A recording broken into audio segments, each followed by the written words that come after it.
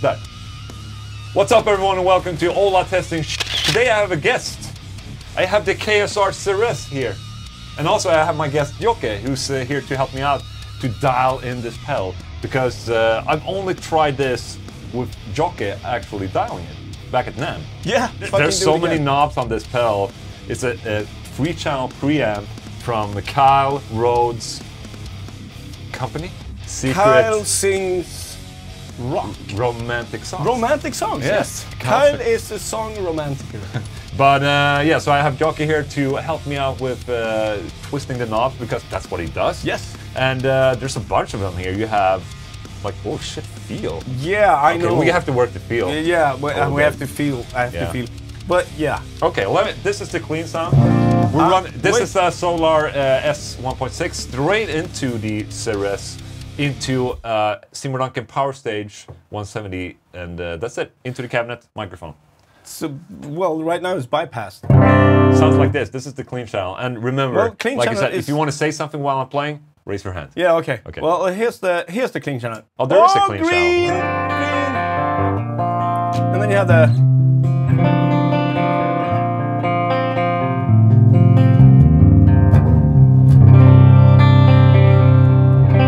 Enough Sweet- of the cleans, please. Sweet spot, uh, Yes. like yeah. Okay, so What is this? um, blue is this one, and What then of course the gain.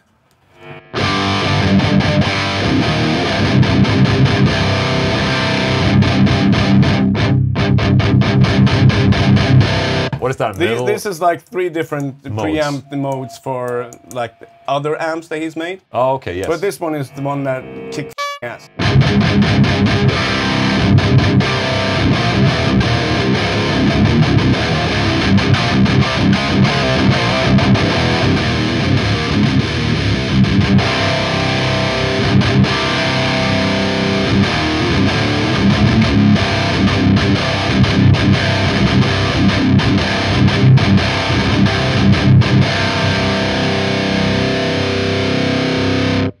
Well, sounds good. It it does. Is this like a rhythm channel or? Yeah, I guess. Okay. We got rhythm, and then you got rhythm. And this channel does does not have a bass, middle, and treble. Just has a tone knob, or? no, this one has uh, this is treble. Oh, okay, okay, gotcha. So basically, uh, clean, blue, Oh, yeah, okay. blue, blue, blue, blue, and Oh, then okay, you so have the lead so here. feel and mode is are these switches. Yes. It's not the knobs. Okay. and on the back side, you have like the user manual. But Oh, we're not okay. using that because that's like that's not how we use it. We're no, not using the user that's manual. not how we roll. So uh, okay, crunch.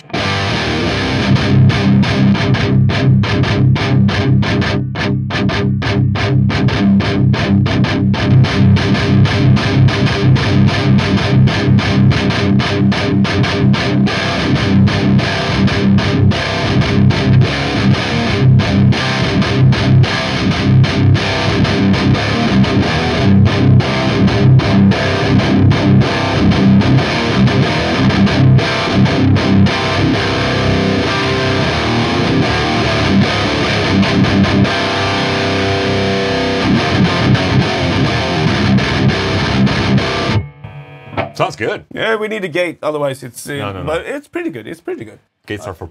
Yes, I've heard. Oh, All right. I heard that too. Uh, Uh, lead channel. lead channel.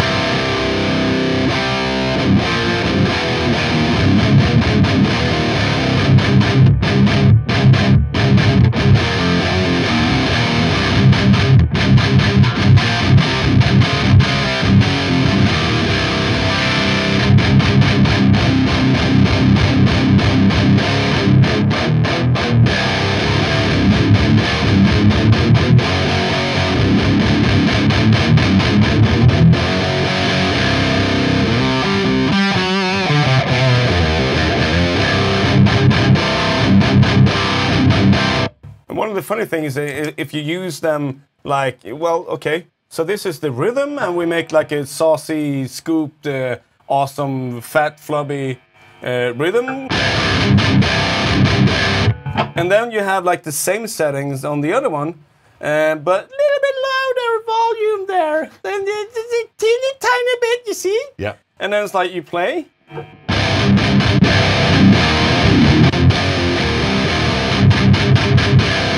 Solo. Oh, it's solo. Okay, yeah, try, try, lead, try yeah. me again. Yeah, okay. play it.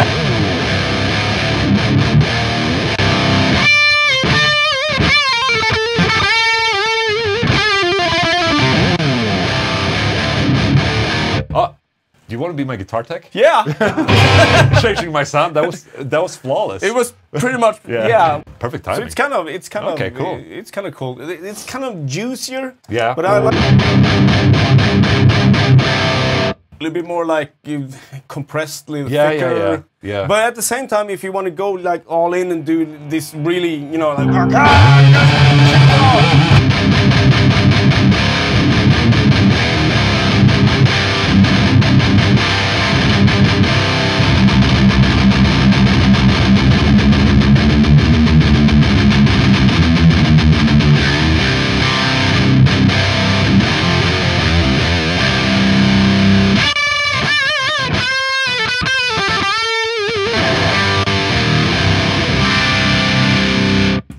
Basically, you can actually use them as you want it. If you want uh, this one to be more dry, then you can use that. Right. That sounds then- really good. Can you play the the mill channel again? The the cr- crunch.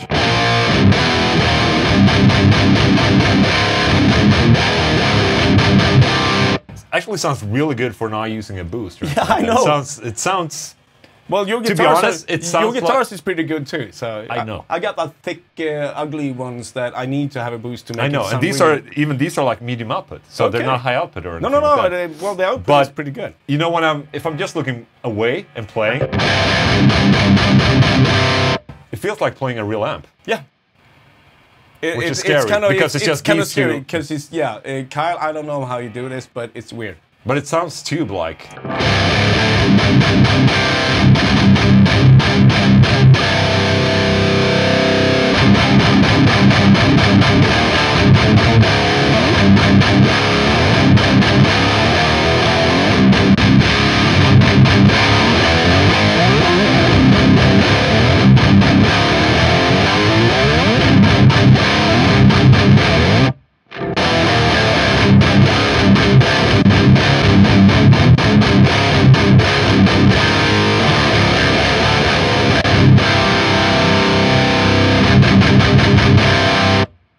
Not bad.